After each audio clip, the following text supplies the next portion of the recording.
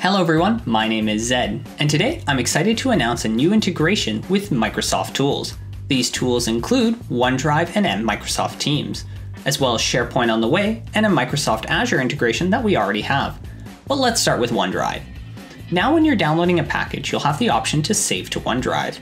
When you press this, you'll be prompted to sign into your Microsoft account. In this case, I'm signed in, so MASV will take care of the rest.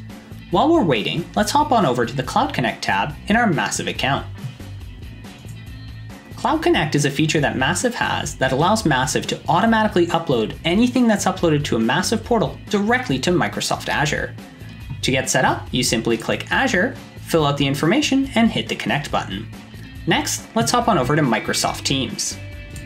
This is the MASV Microsoft Teams account.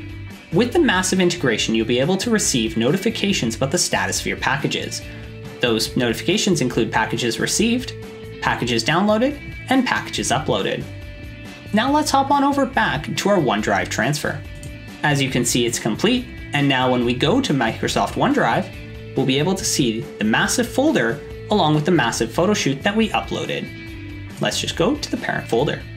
If you'd like to try OneDrive or Azure right now, you can either sign into your existing MASV account or use the link in the description to get 100 gigs free when you sign up with a MASV account. If you'd like to try Microsoft Teams out, there's a link in the video description on the how-to of how to get it started. Lastly, if you have any feedback for SharePoint, feel free to shoot it our way, we'd love to hear it. Stay safe and happy creating.